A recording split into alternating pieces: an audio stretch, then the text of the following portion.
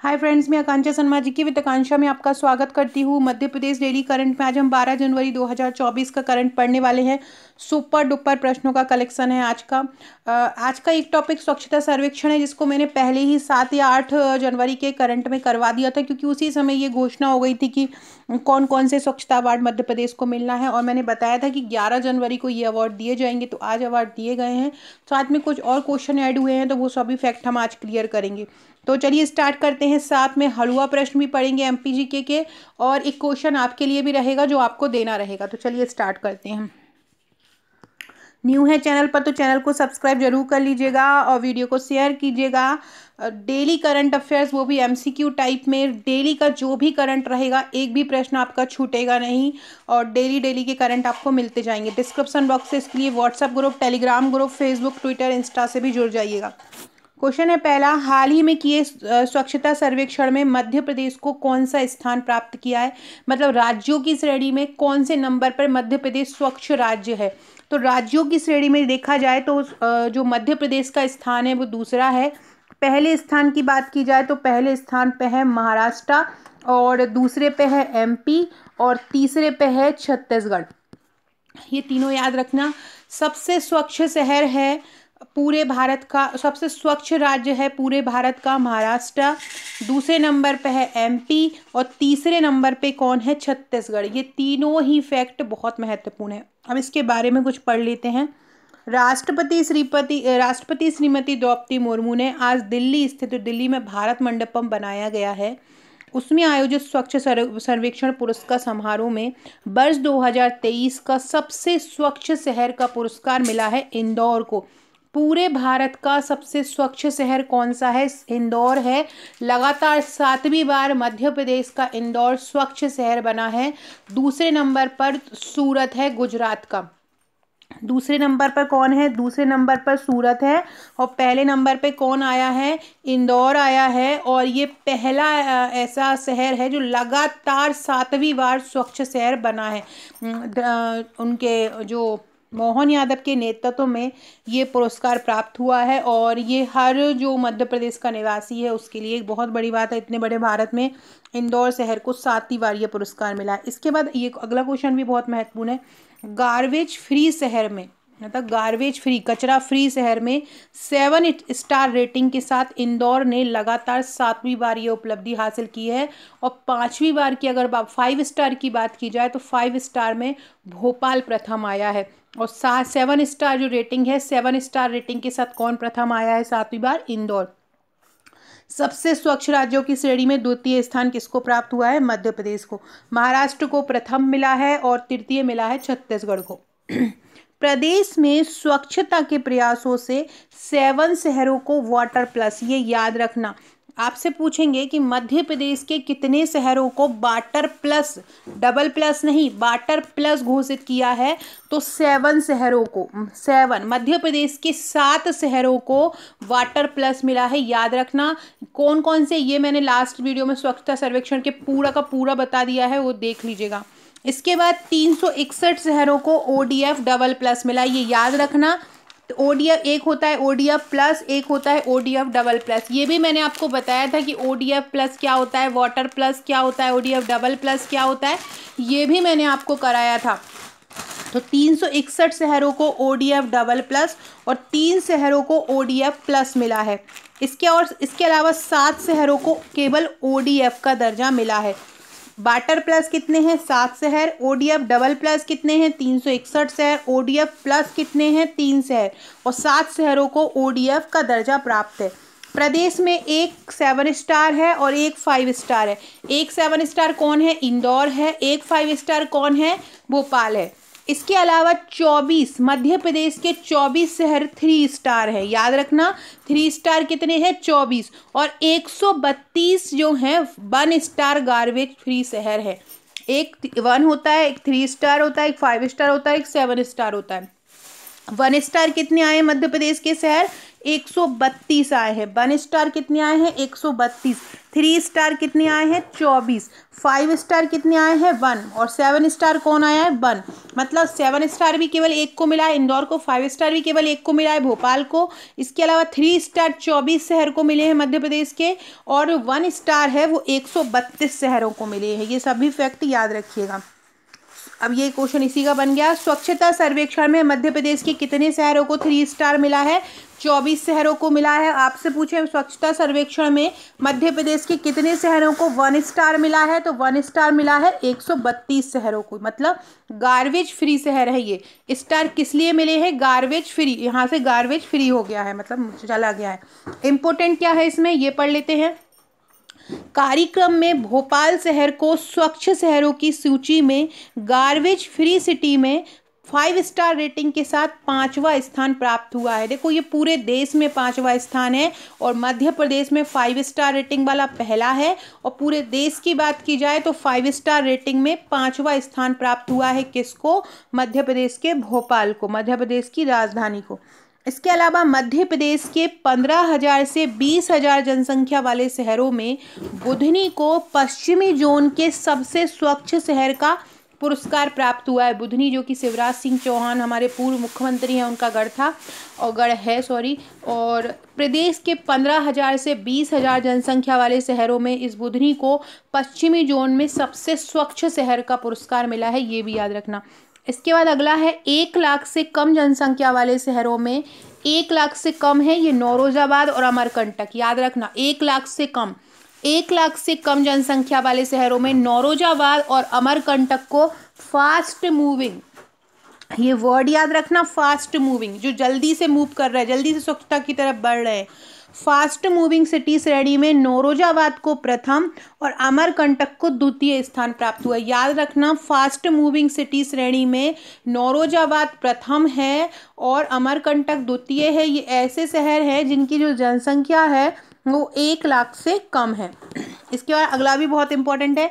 महू ने सबसे स्वच्छ कैंटोनमेंट बोर्ड का खिताब हासिल किया है।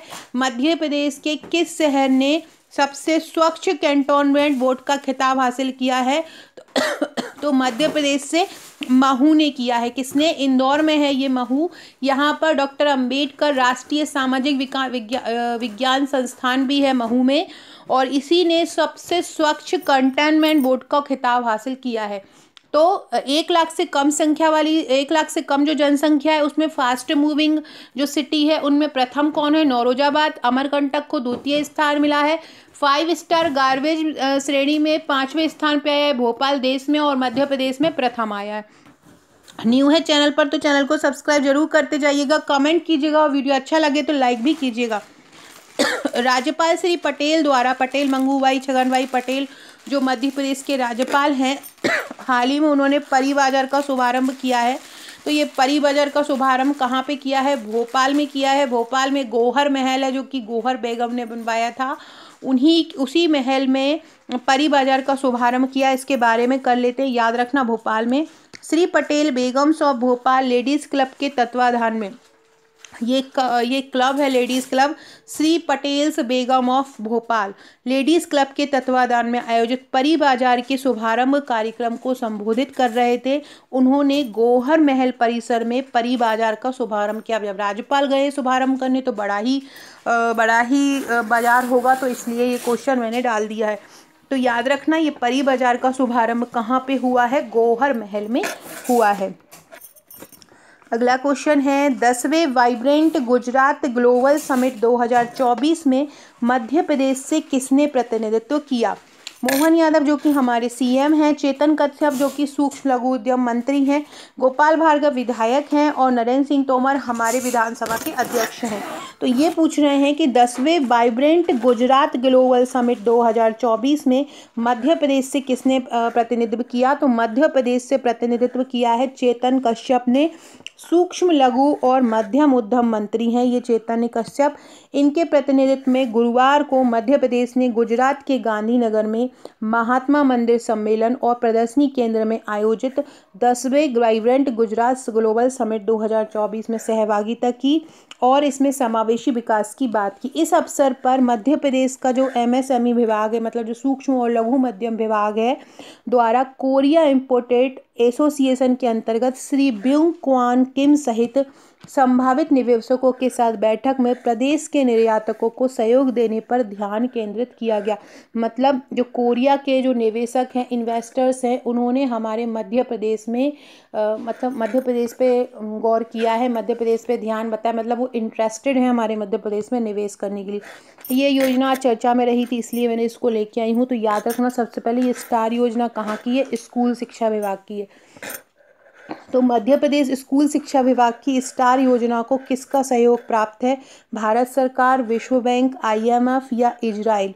देखो मध्य प्रदेश में जो स्कूल शिक्षा विभाग की स्टार योजना है, उसको विश्व बैंक का सहयोग प्राप्त है।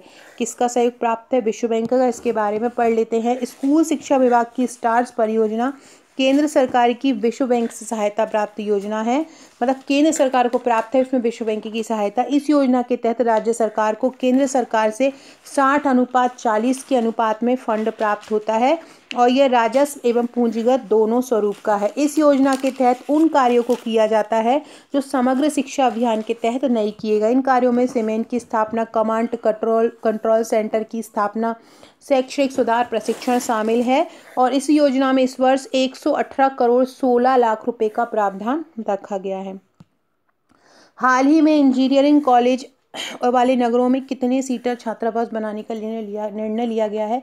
तो पिछड़ा वर्ग, अल्पसंख्यक, कल्याण राज्य मंत्री हैं कृष्णा गौर भोपाल की, इन्होंने ये निर्णय लिया है कि जहाँ पर भी जिस भी नगर में इंजीनियरिंग कॉलेज हैं, मेडिकल कॉलेज हैं, वहाँ पर 500 सीटर छात्रावास का निर्माण किया जाएगा। जितने भी जहाँ भी इंजीनियरिंग कॉलेज हैं, मेडिकल कॉलेज हैं, वहाँ पर निर्माण किया जाएगा और आगामी पाँच वर्षीय कार्य योजना में इसको शामिल किया जाएगा। जो भी कैबिनेट मंत्री अभी न्यू बैठ रहे हैं, वो एक सौ दिवसीय योजना निकाल रहे हैं। उसी के अंतर्गत उनको काम करना है। ये भी फैक्ट याद रखिएगा, पिछड़ा वर्ग, अल्पसंख्यक, कल्याण, राज्य मंत्री कौन है? इन पर स्वतंत्र भार है कृष्णा गौर। एक और फैक्ट याद रखो भोपाल गैस त्रासदी एवं पुनर्विकास विभाग को भारत सरकार ने 126 करोड़ रुपए दिए हैं। किसके लिए दिए हैं? कचरा निष्पादन के लिए। कचरा निष्पादन के लिए भोपाल गैस त्रासदी एवं पुनर्विकास विभाग को भारत सरकार ने 126 करोड़ रुपए दिए हैं ताकि वो अपने कचरे का निष्पादन कर सके। एक आ, मैं जैसे जैसे कि कोई योजना चर्चा में रहती है तो मैं उसको बताती हूँ। उसके इम्पोर्टेंट फैक्ट वही हम करने वाले हैं। आज केन वेतवा लिंक जो परियोजना है वो चर्चा में रही थी केन लिंक, बेतवा जो लिंक परियोजना है, को वर्ष 2009 के में नदी जोड़ो परियोजना के अंतर्गत एक राष्ट्रीय परियोजना घोषित किया। ये स्टैटिक जीके का क्वेश्चन है। याद रखना, किस परियोजना को, केन बेतवा लिंक परियोजना को राष्ट्रीय परियोजना कब बताया? तो केन बेतवा लिंक परियोजना को राष्ट्रीय परियोजना 2009 में घोषित किया। इसके लिए कितनी राशि प्रदान की गई? चवालीस हज़ार छः सौ पाँच करोड़ रुपए की राशि इसमें प्रदान की गई है। केन बेतवा जो लिंक परियोजना है, उसको प्रथम चरण के अंतर्गत राष्ट्रीय परियोजना के रूप में केंद्र सरकार द्वारा नब्बे प्रतिशत एवं राज्य सरकार द्वारा दस प्रतिशत व्यय का निर्धारण किया जाता है। वर्तमान में अगर बात की जाए तो केंद्रीय जल शक्ति मंत्री कौन है? गजेंद्र सिंह सिखावत और मध्य प्रदेश के जल संसाधन मंत्री कौन है? तुलसी सिलावट। फ्रेंड्स, ये मेरे एम पी प्री के नोट्स हैं। बहुत ही शानदार नोट्स है। इसमें टोटल आपको ग्यारह बुकलेट दी जाती हैं। और ग्यारह बुकलेट में ही आपको जो सिलेबस आपको पता है, दस यूनिट में डिवाइड है तो इसी तरह दस बुकलेट यूनिट वाइज ये तैयार की गई हैं। बहुत ही बहुत ही यूनिक तरीके से ये नोट्स बनाए गए हैं। बहुत ईजी लैंग्वेज में पढ़ने से ही आपको याद हो जाएगा।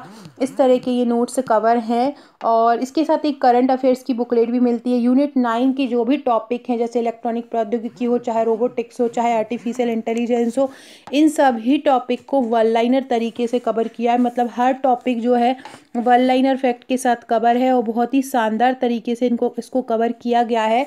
तो अगर आप हमारे ये नोट्स लेना चाहते हैं तो आप मुझे व्हाट्सअप कर सकते हैं। इसके साथ आपको एक व्हाट्सअप का ग्रुप भी दिया जाता है, जहाँ पर हम आपकी तैयारी कराते हैं, जहाँ पर महत्वपूर्ण क्वेश्चन दिए जाते हैं, महत्वपूर्ण क्वेश्चन के अपडेट दिए जाते हैं। और स्टैटिक जी के कराया जाता है करंट अफेयर्स कराया जाता है। इसके अलावा ये है हमारे M P P S C pre दो हज़ार तेईस चौबीस के जो प्रीलिम्स के प्रैक्टिस सेट हर यूनिट को एम सी क्यू तरीके से कवर किया है। और ये प्रीलिम्स का ब्रह्मास्त्र है, हर यूनिट के, जैसे दस यूनिट हैं तो हर एक यूनिट के एक हज़ार बेस्ट निकाला गया है। और इन यूनिट को बहुत शानदार तरीके से कवर किया है। और उनको एम सी क्यू बेस में, और जिसके, इसमें जितने भी पूर्व पेपर में आए हुए क्वेश्चन हैं, उनको भी समाहित किया गया है। तो आप हमारे प्रीलिम्स के नोट्स के साथ ये प्रीलिम्स का ब्रह्मास्त्र भी लीजिएगा। यूनिट वन से टेन तक है ये, दस हज़ार यूनिट वाइज प्रश्न है। साथ में आपको दो हज़ार करंट अफेयर्स के क्वेश्चन है। इस, ये, इसके साथ भी आपको एक व्हाट्सअप का ग्रुप मिलेगा जहाँ पे हम आपकी तैयारी कराते हैं। ये हमारा M P P S C दो हज़ार चौबीस का संपूर्ण पैकेज है, जिसमें प्रीलिम्स मेंस और प्रीलिम्स का प्रैक्टिस सेट तीनों आएगा। प्रीलिम्स के जो हमारे मुख्य परीक्षा के नोट्स हैं, वो चवालीस बुकलेट हैं इसमें। इसमें बारह बुकलेट तीन नंबर की हैं और पाँच और ग्यारह नंबर की बत्तीस बुकलेट दी जाती हैं। पच्चीस व्हाट्सएप के ग्रुप दिए जाते हैं तैयारी के लिए। ये पूरा पैकेज है जो मेंस के नोट्स हैं, वो हैंड रिटन है, प्रश्नोत्तर श्रृंखला में है फ्लो चार्ट डायग्राम सहित है। प्रीलिम्स और प्रैक्टिस सेट के बारे में बता चूँकि इस प्रकार ये टोटल अट्ठावन बुकलेट आएँगी। अगर आप लेना चाहते हैं तो आप इस नंबर पर मुझे व्हाट्सअप कर सकते हैं। आपको व्हाट्सअप करना आपको बताना है कि हमको नोट्स लेना है। मैं आपको डिटेल दूँगी, पेमेंट बताऊँगी, पेमेंट का नंबर दूँगी, आपको पेमेंट करके स्क्रीन देना है, अपना फुल एड्रेस देना है, पिन कोड और दो मोबाइल नंबर सहित।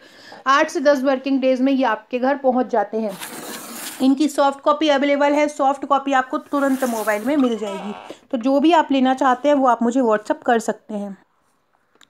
अगला क्वेश्चन है, भोपाल की क्रिकेटर है तमन्ना निगम। ये मध्य प्रदेश में भोपाल की क्रिकेटर हैं। तमन्ना निगम को किस क्रिकेट किस क्रिकेट टीम का कप्तान बनाया है? तो हाल ही में इनको पांडिचेरी क्रिकेट टीम का कप्तान, पांडिचेरी की जो वुमेंस क्रिकेट टीम है, उन, उसका कप्तान बनाया है। तो आपसे ये भी पूछ सकते हैं, जो तमन्ना निगम है, वो किस खेल की खिलाड़ी हैं? तो आपको याद रखना है कि जो तमन्ना निगम है, वो कौन की खिलाड़ी हैं? क्रिकेट की खिलाड़ी हैं। और भोपाल की हैं ये और पंडिचेरी वुमेन्स क्रिकेट टीम का इनको कप्तान बनाया है।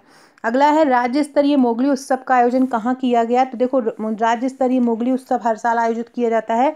ये कहाँ किया जाता है? पेंच राष्ट्रीय उद्यान में किया जाता है, जो कि सिवनी ज़िले में है।